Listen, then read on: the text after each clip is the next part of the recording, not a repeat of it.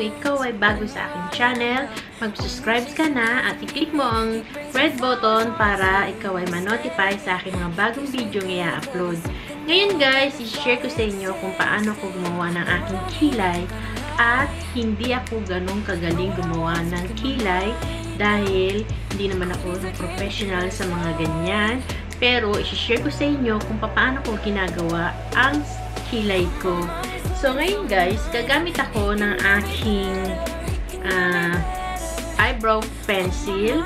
Uh, ito ay ang Rimmel uh, number 004. Ayan siya guys.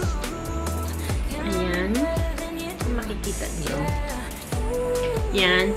Black siya. Pinili kong black kasi black nga yung hair ko.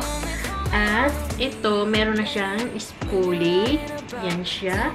At gagamit din ako ng ng concealer para sa aking kilay. Ay, ito ay yung Essence uh, Stay All Day Concealer. Ayan siya.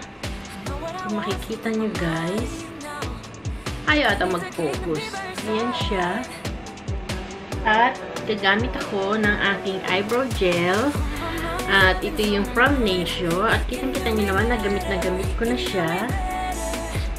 Ayan siya guys. So, ngayon guys, uumpisahan na natin ang paggawa ng aking kilay.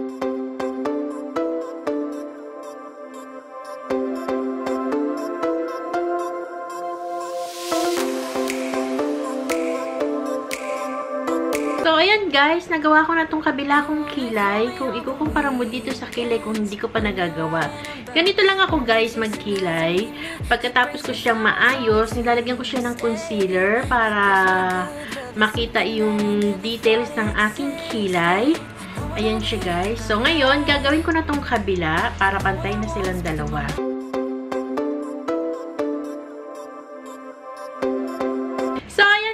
Natapos ko na ang aking paggawa ng kilay ko. Ito na siya. Ayan. Kung makikita nyo, maayos na siyang tignan ngayon. Guys, remember, ang kilay natin ay hindi yan pantay. Hindi yan talagang parang kambal na pantay na pantay ang, ang ating mga kilay. So, minsan, mas maganda itong kabilang kilay ko. Minsan ito hindi. Minsan naman, itong kilay ko, maganda dito, dito naman hindi. Kaya ang hirap niyang pantayin. Kaya, so, ngayon guys, ganito ko lang talaga ginagawa yung kilay ko kasimple, yung medyo light lang siya. Ayaw ko kasi siyang i-dark ng husto dahil nga dark na yung aking buhok, kung mapapansin nyo. Dark na dark na black. Kaya kung ida-dark ko pa siya ng husto naman yung kilay ko, eh para naman na kung uh, halatang drawing na drawing yung kilay ko. So, ganyan lang siya talaga guys ako gumawa ng kilay. At hindi naman talaga ako perfect na gumawa ng kilay. Kaya gusto ko lang siya i-share sa inyo kung paano ko siya ginagawa. So, maraming salamat guys sa panonood. Sana nagustuhan nyo ang aking shinare ko sa inyo kung paano ko ginagawa ang aking simpleng kilay. So, kung meron kayong gustong i-comment, comment down below para naman malaman ko kung paano nyo rin ginagawa ang inyong mga kilay, lalo na katulad kong mga mamshi at sa akin ding mga sisilab.